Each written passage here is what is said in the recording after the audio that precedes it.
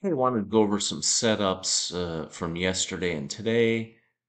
Uh, we have the higher time frame. Uh, just got some last runners on, playing around a little bit with the MNQs here to wrap up. On one of my accounts, I already did really good to the long side. On my main account and hit, we had four bar reversal, as you can see here uh, on the higher time frame at the high of the day. I just kind of sat back and waited. I hit that with MNQs because I already made money to the long side with NQs uh, earlier in the day. So you can see right there, there was the four bar reversal in the higher time frame and we had it at a precise level too on the lower time frame. So I was actually in on the lower time frame one and I was actually in pretty late.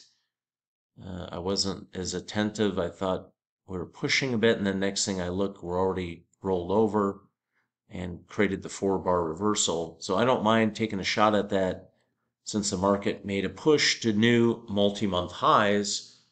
Uh, but I want to show you right out of the US cash session open, we had right after the open, we had this W pattern here and the structural uh, from from basically from you know downside momentum back to upside momentum there. I took a shot at that one. I had my stop below most recent price pivots. That lifted, stalled, came back. We actually had another W pattern. So we had back to back. And that can happen when the market's coiling up and getting ready to make a move. Not at all surprised we pushed. The market's been very bullish. News this morning was, you know, decent, nothing wrong with it, no reason why we shouldn't push a bit, range extend.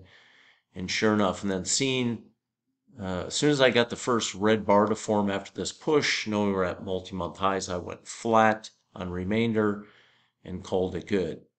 So uh, then we got the four bar reversal in the higher time frame or lower time frame. They were all good to go. You can use either one, and uh, that's been running. Now there was an, another uh, primary trade setup, a trend following right here. We had another one right here. If you didn't get in, but uh, market obviously pushing to new highs, and that got rejected. So uh, overall uh, fairly easy the morning. Yes, the morning might have felt choppy, but there was patterns there now, I don't typically like to buy into resistance, but when the news is good and the market's been real bullish, and I see the market not getting sold into, and I'm seeing the market lifting and trending higher, making higher pivot lows uh, very much. And, and look at that, just just coiling up, waiting.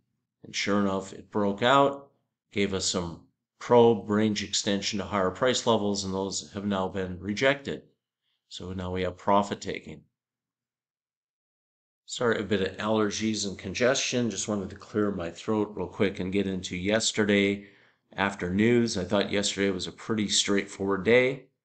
Uh, right after news had played out, we got the big news reaction to play out uh, after the big push. Uh, about 738, 739, going around 740 uh, or maybe it was about 745, we formed an M pattern. I took a shot at that. I took three shots to the short side. They all worked out. Never got any big follow through or sell off, but I like hitting reactionary moves off news. Had a beautiful M pattern. Uh, had a four bar reversal and another four bar reversal, and that worked out. And then later in the day, uh, I did take one trade. I took a W pattern where was that? Oh yeah, right in here. We had a little bit of a W pattern. I took that to the long side. Uh, made a little bit, not a lot, but called it a day. Uh, but all in all, yesterday, if I would have stuck in it, uh, there was some additional W pattern buy side action. Now, as the market went up during the day and made new highs, we were getting four bar reversal slapdowns, made another new high, four bar reversal slapdown. Uh, that continued. We had one more right there. And then uh, late part of the day, she ran pretty hard. So all in all, though, yesterday, coming in the end part of the day, we are pretty much bullish. Every pullback was getting bought. We had really nice uh, patterns here. W pattern lift, pull back above these recent pivots, and lift again. We had a really nice trend following but you know that's right in the end of days action. I don't trade that late in the day, but uh, you know maybe you do. So there you have it. Just wanted to go over what's going on, or what played out yesterday, uh, what's going on today. Uh, pretty good day so far. A little bit of coiling up, the push, probe higher, new multi-month highs achieved.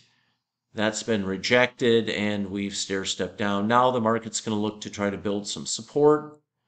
Where could we potentially have some support? Well, this area seems likely.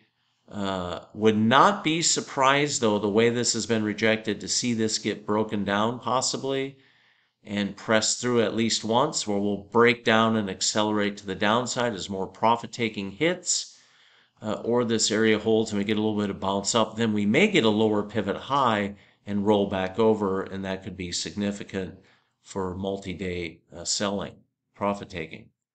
So there you have it. Just wanted to cover the last couple of days, uh, whether you're trading the NQ or the MNQs uh, for the NeuAlgo system.